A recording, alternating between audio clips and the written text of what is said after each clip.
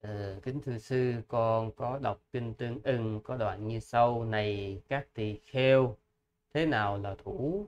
Này các tỳ kheo có bốn thủ này. Dục thủ kiến thủ giới cấm thủ ngã luận thủ. Này các tỳ kheo đây gọi là thủ. Dục thủ kiến thủ ngã luận thủ là gì thưa sư?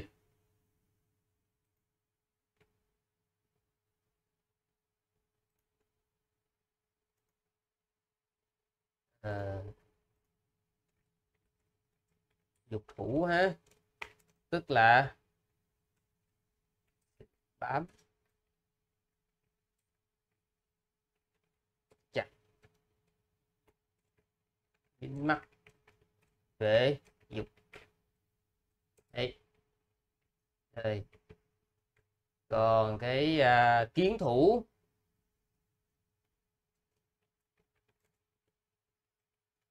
Ừ, cũng y chang như vậy. Về tà kiến. Ở đây đó là 62 tà kiến. Nói rộng là 62 tà kiến. À, còn cái ngã luận thủ á,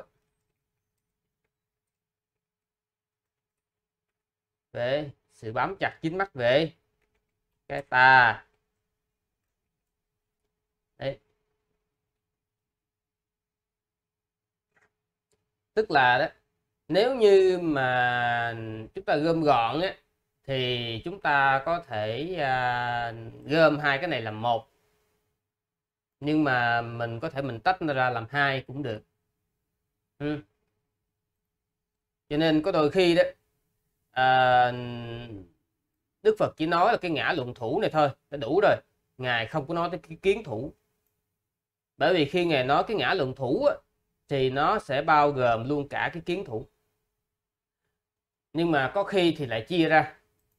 Đấy.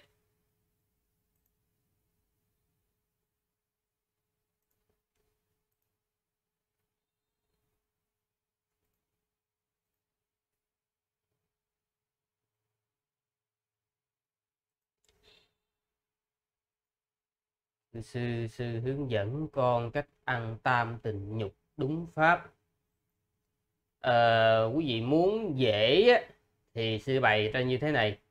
Ra siêu thị đến cái quầy mà nó bán cái đồ đã chế biến sẵn ví dụ như uh, uh, thịt đã làm sẵn thịt mà nó để trong khay đó một cân thịt hai cân thịt ba cân thịt đi rồi gà nguyên con mà gà đã làm rồi đấy thì quý vị cứ thoải mái ha, vô siêu thị mua những thứ đó về còn ra chợ thì à, cũng vậy. Quý vị mua những cái à, thịt mà họ đã chế biến sẵn rồi. Tức là họ chỉ còn những cái khối thịt thôi chứ nó không có phải là một cái con gì đó nó đang dễ đành đạch. Mà quý vị phải tác động vào nó để mà kêu người ta làm cho mình thì nó mới chết. Thì à, không có. À, đi ra cứ đi ra như vậy đó. Thấy thịt nào hoặc là con cá nào mà nó chết rồi đó thì cứ vậy mà mua về thì như vậy là tam tịnh nhục tức là à, đức thế tôn nói cái này là đức thế tôn nói nha đó là loại thịt thanh tịnh tức là loại thịt không có liên quan không có nghiệp gì ở trong đây hết không có dính dáng gì không ác nghiệp trong đây hết ha. Và nhớ về một chuyện như thế này đừng bao giờ đặt trước. Nhiều người họ mắc cái sai lầm như vậy ngay cả siêu thị ví dụ như siêu thị quen vì đặt trước là ờ à, à, ngày mai à, siêu thị để cho tôi 100 kg thịt bò hoặc là 100 kg thịt heo hoặc là 100 kg thịt gà thì không được nha.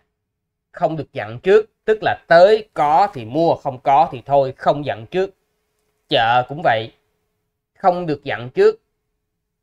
Đấy uh, có một lần ấy một cái chú uh, cư sĩ chú đặt uh, chú gửi cái hàng thịt là ngày tiền đặt cọc trước á, là ngày mai chú sẽ lấy hai ký thịt bò và chú đặt cọc trước cho hàng thịt.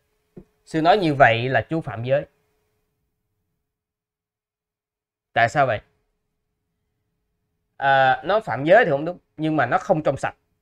Và cái thực phẩm đó không được sử dụng và không được cúng dường. Bởi vì nó không phải tâm tình nhục. Do đâu? Do khi mình đặt trước như vậy đó tức là hàng thịt họ sẽ để dành uh, hai ký thịt cho mình. Thì như vậy khi mà cái người thợ giết mổ họ mổ á, họ sẽ tác ý là họ mổ chừa hai ký thịt đó cho con người này bởi vì họ đã đặt trước rồi. Thì cái đó là không có thanh tịnh nha. Cho nên mua thì không được đặt trước. Cứ tới chợ, tới siêu thị, thấy nó bán sẵn thì mua về, không có thì thôi.